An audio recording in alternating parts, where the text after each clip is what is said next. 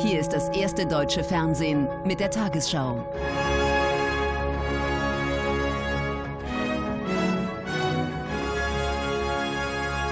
Heute im Studio Judith Rakers. Guten Abend, meine Damen und Herren. Ich begrüße Sie zur Tagesschau. Die jüngsten Feindseligkeiten gegen Flüchtlinge in Sachsen stoßen in der Politik auf Entsetzen und Empörung. In Klausnitz hatte diese Woche eine Menschenmenge einen Bus mit Flüchtlingen blockiert. In Bautzen bejubelten Umstehende in der vergangenen Nacht den Brand einer geplanten Asylbewerberunterkunft. Der sächsische Ministerpräsident Tillich sagte in einem Interview mit der Funke Mediengruppe, die Vorfälle seien abscheulich und widerlich. Bundesinnenminister de Maizière erklärte, die Schwellen des Anstands und des Rechts seien deutlich überschritten worden. Eine Unterkunft für Asylbewerber sollte in Bautzen im sogenannten Husarenhof eingerichtet werden, doch dann brannte es lichterloh. Die Ermittler gehen von Brandstiftung aus. Etwa zwei Dutzend Schaulustige zeigten gestern Nacht unverhohlen ihre Freude über den brennenden Dachstuhl. Betrunkene behinderten die Feuerwehr bei den Löscharbeiten. Es ist nach Klausnitz, wo Flüchtlinge von einer Menschenmenge im Bus festgehalten und beschimpft wurden, der zweite fremdenfeindliche Vorfall in Sachsen in kurzer Folge. Bundes- und landesweit ist die Empörung nun groß.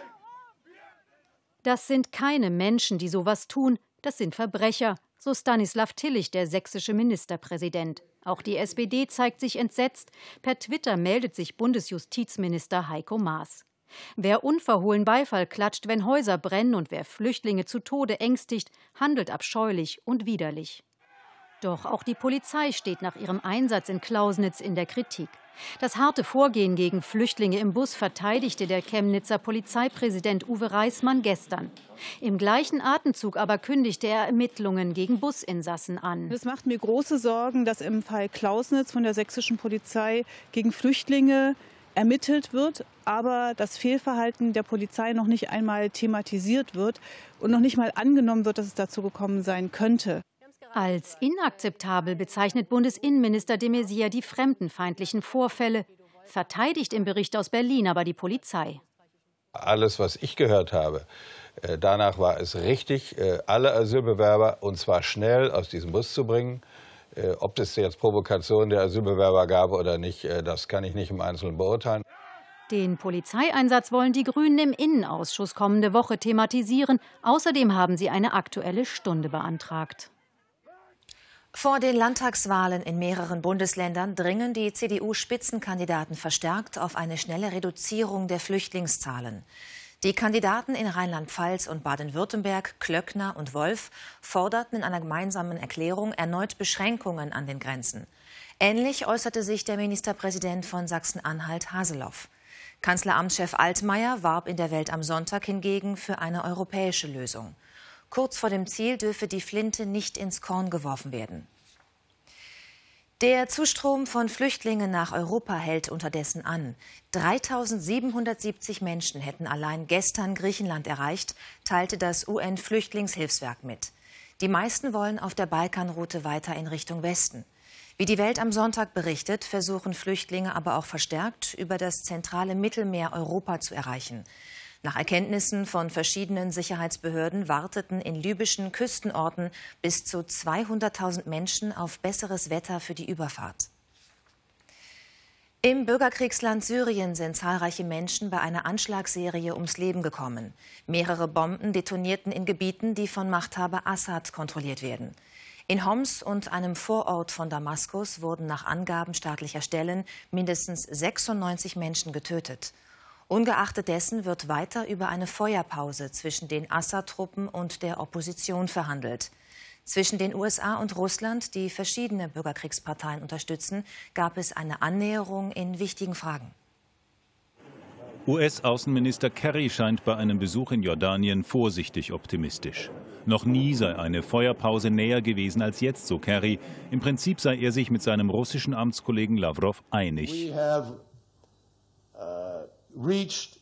Wir haben eine vorläufige Übereinkunft erzielt, so Kerry, was die Bedingungen einer Feuerpause angeht. Sie könnte schon in den kommenden Tagen beginnen. Doch noch sprechen die Waffen und der Weg bis zu einer Unterbrechung der Kämpfe ist weit. Die syrische Armee, hier Aufnahmen des russischen Fernsehens, geht mit russischer Luftunterstützung gegen die Terrormiliz IS und die bewaffnete Opposition vor.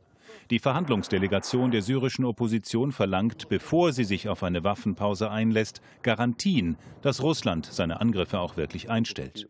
Und Syriens Machthaber Assad will auch während einer Feuerpause weiter gegen den IS, die Al-Qaida-nahe Nusra-Front und zwei weitere Rebellengruppen kämpfen dürfen. Unabhängig von den Verhandlungen stellt er Forderungen. Europa muss die Sanktionen gegen Syrien aufheben, so Assad im Interview mit der spanischen Tageszeitung El País. Die Türkei muss aufhören, Terroristen nach Syrien zu schicken. Und als Regierung werden wir Terroristen definitiv bekämpfen. Bei Bombenanschlägen in regimebeherrschten Gebieten starben heute wieder viele Zivilisten. In Damaskus explodierten mindestens drei Sprengsätze in einem Schiitenviertel. In Homs zündete die Terrormiliz IS zwei Autobomben. Hillary Clinton hat die Vorwahl der Demokraten um die US-Präsidentschaftskandidatur im Bundesstaat Nevada gewonnen. Die ehemalige Außenministerin ließ ihren innerparteilichen Rivalen Sanders knapp hinter sich. Bei den Republikanern gewann in South Carolina der Milliardär Trump. Sein Sieg sorgte dafür, dass sich die Riege der republikanischen Anwärter auf die Präsidentschaftskandidatur weiter verkleinerte. Er ist der große Verlierer. Jeb Bush, einst Favorit der Republikaner, holte bei den Vorwahlen in South Carolina nicht mal 8 Prozent der Stimmen und das trotz massiver Unterstützung seiner einflussreichen Familie. Die Wähler in Iowa, New Hampshire und South Carolina haben gesprochen und ich respektiere das. Ich beende meine Kandidatur. Etablierte Konservative wie Bush chancenlos gegen diesen Außenseiter. Donald Trump ist der Mann der Stunde. Amerikas Medien reißen sich um den Sieger. Mit satten 32,5 Prozent der Stimmen deklassierte er seine Verfolger. Auf ihm ruhen nun die Hoffnungen der moderaten Kräfte der Partei. Floridas Senator Marco Rubio wurde überraschend Zweiter und könnte nun zum Kandidaten all derer werden, die den Milliardär und Medienliebling Trump um jeden Preis verhindern wollen. Für sie war es knapper als erwartet, doch am Ende hat Hillary Clinton gesiegt. Bei den Vorwahlen der Demokraten in Nevada holte sie 52,7 Prozent der Stimmen. Amerikas ehemalige Außenministerin erleichtert. Doch auch Bernie Sanders darf sich als Sieger fühlen. Der selbsternannte demokratische Sozialist kommt Clinton gefährlich nahe. Mit seinem Aufruf zu mehr sozialer Gerechtigkeit bleibt der 74-Jährige ein gefährlicher Konkurrent.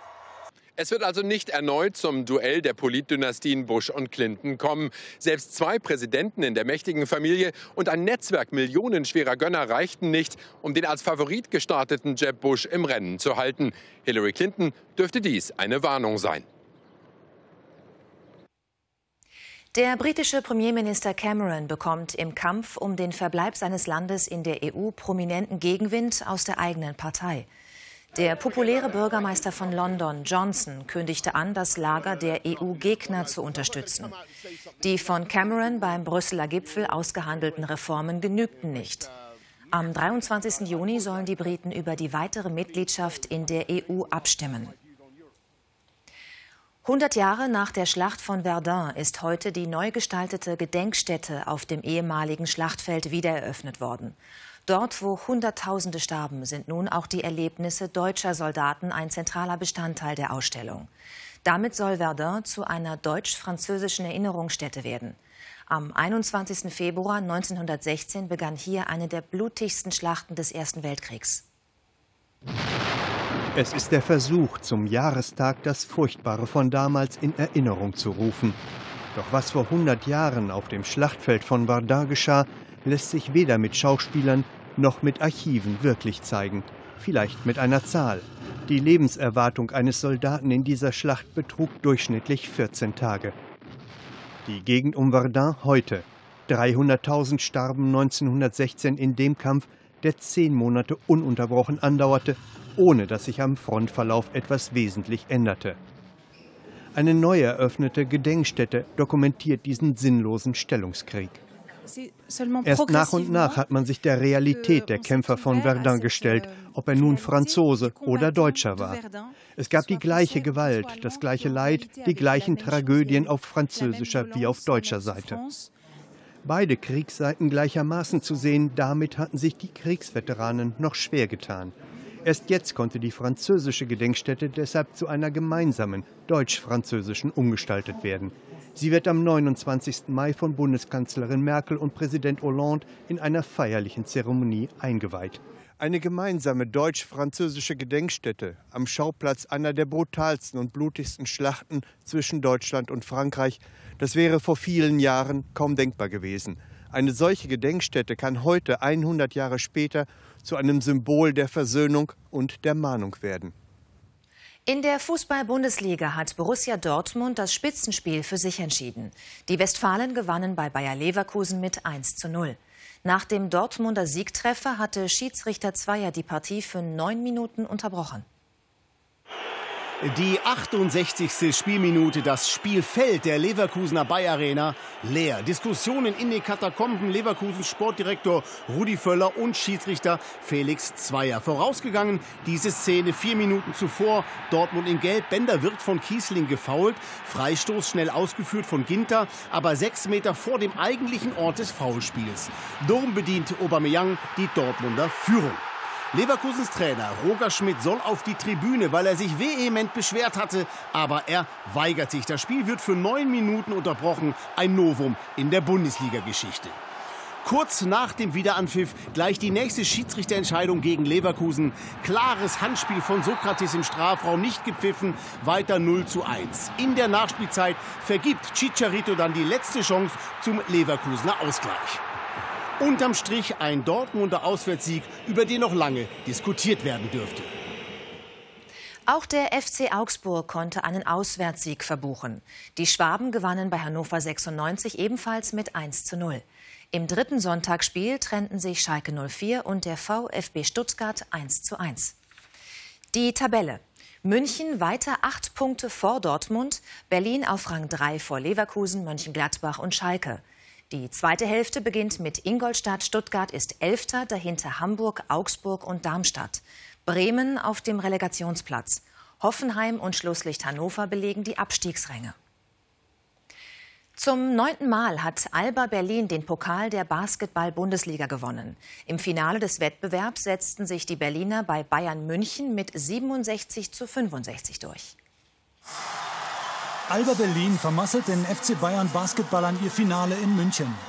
Von Beginn an entwickelt sich ein Pokalfight, der von viel Kampf und harter Verteidigung geprägt war. Berlin erarbeitet sich nach der Pause leichte Vorteile, auch durch schöne Offensivaktionen. Erst kurz vor Schluss gelingt den FC Bayern Basketballern der erneute Ausgleich. Duschko Savanovic mit einem spektakulären Drei-Punkte-Wurf beim Pokalkrimi. Edelfan Uli Hoeneß darf wieder vom Sieg seiner FC Bayern Basketballer träumen. Noch zehn Sekunden und dann zittert Berlins Milo Sajevic den Ball irgendwie in den Korb. Das Team von Alba-Trainer Sascha Obradovic muss noch fünf Sekunden überstehen. Bayerns Justin Kops mit dem letzten Wurf. Berlin gewinnt dank besserer Nerven am Ende und Bayern misslingt der zweite Pokaltriumph nach 1968. Alba Berlin holt den neunten Pokalsieg in der Vereinsgeschichte. Verhaltene Freude bei Bobpilot Francesco Friedrich. Der Zweier-Weltmeister lag bei der WM in Innsbruck Eagles auch im großen Schlitten auf Goldkurs. Mit seinen Anschiebern Candy Bauer, Gregor Bernbach und Thorsten Magis leistete sich Friedrich in den letzten beiden Durchgängen zu viele kleine Fehler und musste sich mit 400 Sekunden dem Letten Oscar Smelbadis geschlagen geben. Bronze holte der Schweizer Rico Peter. Nico Walter verpasste als Vierter eine Medaille nur knapp. Titelverteidiger Maximilian Arndt musste sich mit Rang 7 zufrieden geben. Und nun die Wettervorhersage für morgen Montag, den 22. Februar. Tiefer Luftdruck und Kaltluft im Norden, hoher Luftdruck und Warmluft im Süden Deutschlands. Entlang der Luftmassengrenze gibt's kräftigen Dauerregen, dabei bleibt es sehr windig. Heute Nacht fällt im Norden ergiebiger Regen, in der Mitte regnet es nur gelegentlich etwas und im Süden bleibt es meist trocken. Dort gibt's hier und da auch Wolkenlücken. Morgen in der Nordhälfte weiterhin Dauerregen, Richtung Süden scheint dagegen häufig die Sonne und es bleibt weitgehend trocken. Heute Nacht in einigen Alpentälern um den Gefrierpunkt an der Saale bis 11 Grad. Morgen frische 6 Grad an der Ostsee, in Oberbayern dank Föhn bis 18 Grad. Am Dienstag vor allem in der Mitte Dauerregen, südlich und nördlich davon zum Teil freundlich. Mittwoch und Donnerstag wieder kälter, dabei teils Sonne, teils Wolken mit Regen oder Schneeschauern. Um 22.45 Uhr hat Thomas Roth diese Tagesthemen für Sie. Ausschreitungen in Sachsen, Entsetzen über unverhohlene Fremdenfeindlichkeit und beispielloses Gemetzel, die Erinnerung an die Hölle von Verdun. Ich wünsche Ihnen noch einen schönen Abend.